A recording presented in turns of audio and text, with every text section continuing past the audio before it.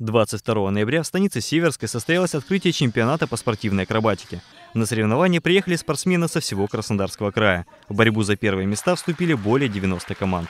Разрешите от имени главы муниципального образования Северский район поприветствовать вас на открытии турнира, поприветствовать на гостеприимной земле Северского района, пожелать самое главное, чтобы у вас всегда с вами рядом были такие замечательные тренеры, которые подготавливают вас на очень высокий уровень. Состязания продлятся три дня, с 22 по 24 ноября. О результатах чемпионата мы сообщим в нашем следующем выпуске.